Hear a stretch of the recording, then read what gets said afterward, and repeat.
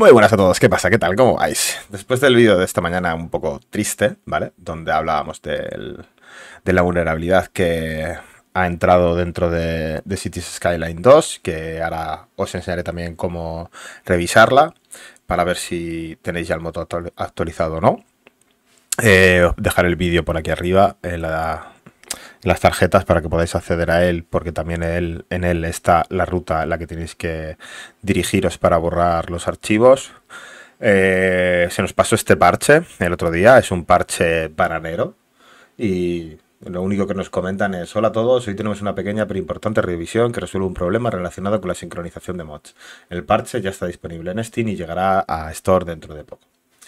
Para ver todos los eh, cambios recientes, hecho un vistazo a las notas del parche 1.1.10 F1, que se lanzó en el día de ayer, ¿vale? Que se hace ya una semana. Entonces, bueno, eh, no hubo nada en este parche.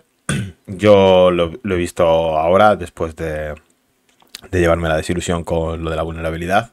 Así que no hay mucho más que repasar de, de este parche. Así que nos vamos a ir yendo a Cities Skyline 2. Aquí estamos ya dentro. Vale, lo que quiero que hagáis es, os venís a la parte de mods de Paradox y tenéis que revisar el, el mod de Traffic, si lo tenéis instalado, tenéis que revisar que esté en la versión 0.2.4, ¿vale? Que es la versión que se actualizó el 31 de octubre a las 3 y media de la tarde, hora española.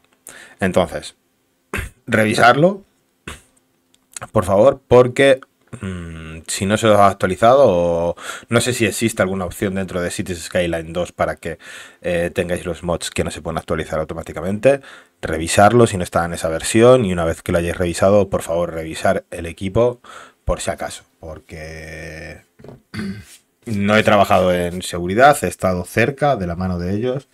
Y estas mierdas, tío, cuanto antes las quitéis mejor, porque pueden ser un problema, sobre todo si han podido conseguir datos nuestros.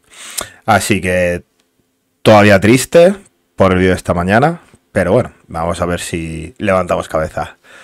Como siempre, chicos, intentar ser felices, que no os joda una, una vulnerabilidad y menos si es una zero day, que por suerte no ha sido así.